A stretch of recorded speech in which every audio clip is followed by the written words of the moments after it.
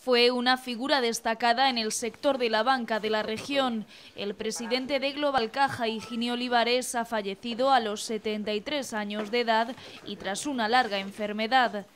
Higinio Olivares, siempre con decidido espíritu de apoyo y colaboración con el progreso asociativo del sector y de los diferentes ámbitos de la cultura, el arte, la empresa, la economía y la educación. Olivares nació en Montalvos el 6 de diciembre de 1942. Fue desde 1979 a 2002 vicepresidente del Consejo Rector de Caja Rural Albacete. Después fue nombrado presidente del Consejo Rector de Caja Rural de Albacete, entidad con más de 300 trabajadores.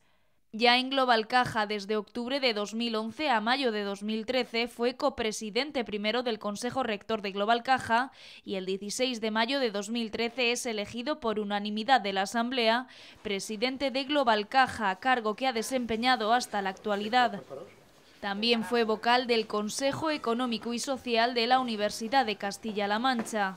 Higinio Olivares estaba casado y deja cuatro hijos. El sepelio se celebra mañana a las 12 de la mañana en la catedral.